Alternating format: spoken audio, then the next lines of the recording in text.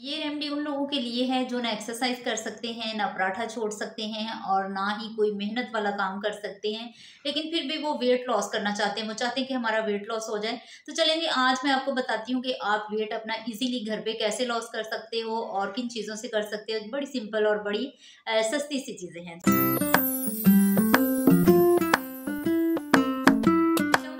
People कैसे हैं आप सब लोग? उम्मीद है जी सब ठीक ठाक होंगे और बड़े खुश होंगे।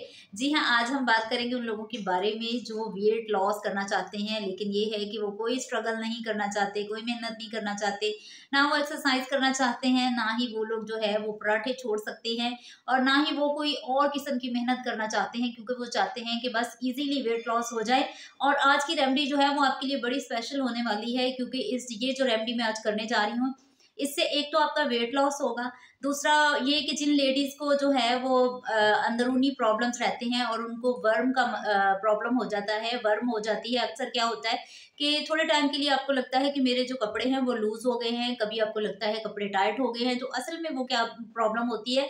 वो ये होती है कि वर्म का प्रॉब्लम होता है पेट में और हमें समझ ही नहीं लगता और अक्सर लेडीज़ के साथ तो ये भी प्रॉब्लम होता है कि वो कहती हैं कि मेरे पेट में ये हल्का हल्का सा दर्द रहता है, वो दर्द क्यों रहता है? क्योंकि जिनके जो होता है ना कि जिनको ये प्रॉब्लम होता है वर्म का तो उनके उनके साथ ये मसले होते हैं। तो आज की रेमडी बड़ी सिंपल सी है, बड़ी सस्ती सी है, लेकिन आपको इसको तकरीबन फिफ्टीन डेज़ तक, पंद्रह दिन तक आपने इसको रेगुलरली करना है। और उसके बाद पहले आपने अपना वेट चेक करना है कि मेरा वेट कितना है। उसके बाद आपने ये रेमडी जो है वो इसको फॉलो करना है। और 15 डेज़ तक आपने इसको रेगुलरली करना है और फिर वेट अपने को चेक करना है और फिर आपने इसको प्रॉपर करना है और आप जितना वेट लॉस इससे करना चाहते हो, आपका उतना ही वेट इससे लॉस हो जाएगा। लेकिन वेट लॉस करने से पहले मैं यहाँ आपको बता दूँ कि पहली बात तो ये कि वो लोग इस वेट अपना लॉस करें जिनको ज़रूरत है। जिनको अंदरूनी इस तरह के मसाइल्स हैं, इस तरह के मसले हैं लेडीज़ को तो वो अपना ये ये भी नहीं कि सिर्फ़ इससे वेट लॉस होगा, ये है कि मैंने बताया कि वर्म के लिए ये बहुत बेस्ट है, जड़ी बूटी है। देखिए इस तरह की जड़ी बूटियाँ अगर आपको कोई फ़ायदा नहीं तो आपको नुकसान भी नहीं देती। यानी कि इनके कोई साइड इफ़ेक्ट नहीं होते। साइड इफ़ेक्ट देखिए हर चीज़ का वैसे एक नॉर्मली साइड इफ़ेक्ट होता है। यानी कि किसी भी चीज़ को हम बहुत ज़्यादा एक्स्ट्रा यूज़ कर रहे हैं। यानी जिस तरह जिस चीज़ का इस्तेमाल बताया जाए आप उस तरीके से इसका इस्तेमाल किया करें। तो फिर आपको कोई भी आ, कोई सेहत के लिए लॉस नहीं होगा आपको या फिर कोई भी वो चीज़ आपके लिए साइड इफ़ेक्ट नहीं आपकी सेहत पर कर सकती। इसलिए कि उसको अगर हम प्रॉपर करते हैं और तरीके से करते हैं लिमिट में रह के।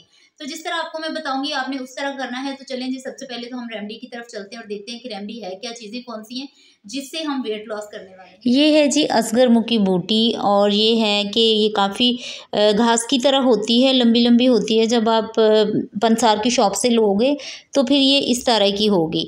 मैंने इसको सीज़र के साथ काटा है और काट के छोटा छोटा कर लिया है ताकि जब हम पकाएँ तो हमें डिफ़िकल्टी ना हो। फिर यहाँ पर ये है लेमन ग्रास इससे सभी वाकिफ़ हैं, बहुत खुशबूदार होती है और बहुत टेस्टी भी। और ये है कासनी के बीज। और यहाँ पर लिया है जी मैंने एक कप पानी और पानी आ, मैंने गर्म किया और जब पानी गर्म हो गया तो मैंने इसके अंदर तकरीबन दो पिंच जो है वो मैंने असगर मुखी बूटी डाल दी है। और इसी के साथ मैंने डाल दिया है लेमन ग्रास। और जब भी लेमन ग्रास भी मैंने डाल दिया और ये थोड़ा सा पक गया तो लास्ट पे मैंने डाल दिया है। कासनी के बीज। कासनी के बीज जो हैं, ये थोड़े से कड़वे होते हैं, इसलिए हम इसको एंड पे ही डालेंगे। मतलब इतने कड़वे नहीं होते, नॉर्मली से हल्के फुल्के से कड़वे होते हैं। तो मैंने वो डाल दिए और इसको तकरीबन दो से तीन जोश दिए हैं मैंने और इसको, ये कावा जो है वो बन के रेडी हो गया। आप टेस्ट के लिए इसके अंदर शहद भी डाल सकते हो और हल्की सी चीनी डाल सकते हो, लेकिन मैं कड़वा पी लेती हूँ, क्योंकि ये बहुत ही अच्छा टेस्ट होता है। रेमडी आप देख चुके हैं वो कि ये क्या चीज़ें हैं और किस तरह से आपने यूज़ करनी है। सबसे पहले मैंने आ, आपको यहाँ पर दिखा दी है अजगर की बूटी। ये बिल्कुल घास की तरह होगी और ये फिफ्टीन रुपीज़ की मैं सॉरी फिफ्टीन की नहीं फिफ्टी की लाई थी मैं। और पचास रुपए की ये मैंने ली है और ये आपको पूरा महीना ये चलने वाली है। और आपने जो है ये इसके छोटे छोटे पीसेस कर लेने हैं। ये बिल्कुल घास की तरह होती है। सीजर के साथ इसको काट ले। जब आप इसको काट लोगे तो ये इस तरह हो जाएगी और स्पून से जो जो तरीका मैंने बताया, जिस तरीके से आपने इसको यूज़ करना है, ऐसे आपने यूज़ करना है।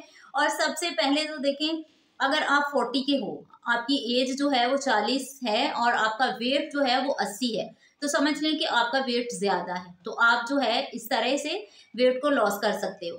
यानी कि दिन में दो दफ़ा, वो लोग जो जिनकी एज फोर्टी है और उनका वेट एटी है तो आप इसको दिन में दो दफ़ा यूज़ करोगे, यानी कि कोई वो नहीं है कि खाली पेट यूज़ करनी, कोई वो नहीं है। आपको जब टाइम मिले मॉर्निंग में आप इसको नाश्ते के बाद भी ले सकते हो। यानी कि नाश्ते के एक घंटे के बाद आपने इसको लेना है। और रात को खाने के जो है, वो तकरीबन जब आपने खाना खा लिया तो उसके एक घंटे के बाद आपने इसको इस कावे को पीना है। और आप देखिएगा कि इससे आपका वेट कितना अच्छा लॉस होगा और जो भी अंदरूनी प्रॉब्लम जो मैं आपके को बता चुकी हूँ कि ये प्रॉब्लम जो है, ये भी आपके क्लियर हो जाएँगे सॉल्व हो जाएँगे। जिन लोगों को फैटी लीवर का प्रॉब्लम होता है, वो भी हो, इनका क्लियर हो जाएगा तभी आपका फेस ग्लो कर सकता है। अगर आपका लिवर जो है, वो अच्छा काम करता है। तो जो एक्स्ट्रा फैट है आपकी बॉडी में से, वो सारा इस कैवे से डिजॉल्व होने वाला है। आपकी बॉडी एकदम से क्लियर होने वाली है। इसमें लेमन ग्रास है और इसमें जो दूसरा है, वो है तुख में कासनी है। तो आप इस तरह ये इन चीज़ों के नाम जब आप जाके बताओगे, पंसार की शॉप पे तो आपको इजीली ये चीज़ें मिल जाती है, ठीक है? और फिर आपने इसी तरह से जो जो भी तरीकाकार मैंने बताया, इस तरीके से आपने इसको रेगुलरली पंद्रह दिन तक यूज़ करना है। फिर आप मंथ, एक महीना यूज़ करेंगे और उसके बाद आप देखिएगा कि आपका वेट लॉस होना शुरू हो गया है और कोई साइड इफ़ेक्ट नहीं है। इनका बहुत ज़बरदस्त ये कहवा भी बन जाता है। एज अ टेस्ट आप इसमें यानी कि डाल सकते शहद डाल सकते हो। अगर आपके पास शहद अवेलेबल नहीं है तो हाफ़ टी स्पून जो है या वन टी स्पून आप इसमें शुगर ऐड कर सकते हो। यानी बहुत लाइट चीनी आपने रखनी है। ये नहीं कि बहुत ज़्यादा मैं तेज़ मीठा पीती हूँ तो मुझे तेज़ ही डालना है। वो वाला आपने काम नहीं करना। थोड़ा सा यानी कि आपने टेस्ट को चेंज करने के लिए, बाकी इसका टेस्ट बुरा नहीं है। टेस्ट इसका बहुत अच्छा है। आप जब इसका कोई भी चीज़ आप लेते हो, उसको थोड़ी देर के लिए मुँह में रख के चबा के देख सकते हो। एक तो इसकी खुशबू बहुत अच्छी है टेस्ट बहुत अच्छा है।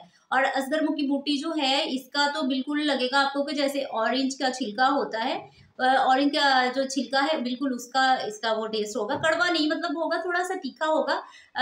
जब आप मुँह में रखोगे तो आपके पूरे फेस को, मुँह को जो है वो ठंडा कर देगा ये। यानी कि इतना अच्छा ये टेस्ट है टेस्ट भी बुरा नहीं है और वेट लॉस बहुत ज़बरदस्त इससे आपका होने वाला है। तो चलें जी, आप अपना वेट लॉस कीजिए और तब तक हम किसी नई वीडियो में मिलते हैं। अपना बहुत ख्याल रखिएगा। खुदा हाफिज़।